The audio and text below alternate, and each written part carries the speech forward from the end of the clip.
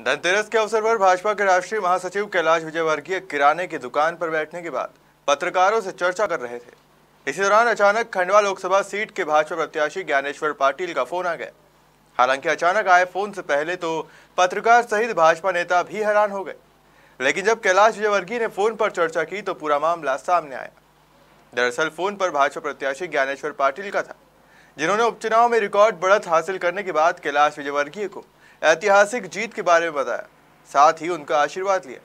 वहीं कैलाश विजयवर्गीय ने भाजपा प्रत्याशी को बधाई देते हुए उनके मोबाइल को लाउड स्पीकर पर कर पत्रकारों को भी सुनाया, जहाँ उन्होंने अपनी जीत के लिए सभी का आभार जताया।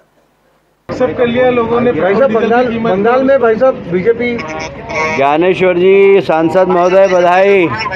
बधाई मैंने तो टिकट देने के पहले ही आपको सांसद बोल दिया था। भाई साहब आप बड़े सभी का धन्यवाद और बड़े भाई लोगों का आशीर्वाद से बहुत ही जैसी हो रही है।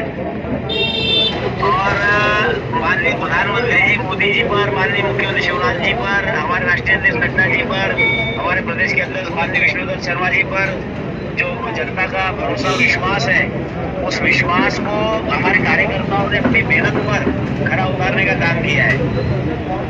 चलिए बहुत अच्छा। ज्ञानेश्वर जी मैं तो मैं तो पहले से आपको सांसद बोलता था जनता ने मोहर लगा दी उस पर भाई साहब जनता के भरोसे पर खरा उतरने के लिए आपके आशीर्वाद की बहुत ज़रूरत है दिल्ली से काम कराना है भाई साहब नहीं नहीं बहुत बहुत काम कराना है। मैं तो दिल्ली बैठता ही हूँ। तुम्हारे क्षेत्र की जो भी समस्या हो किसी भी मंत्री की मेरे साथ चलना मैं पूरे काम कराऊँगा। बिल्कुल आपको साथ में चलना ही पड़ेगा मेरे साथ। चलो। जितने पेंडिंग काम है लिस्ट बना लो सारे मंत्रियों के चलेंगे अपन ठीक है? है हाँ निपटाएँगे।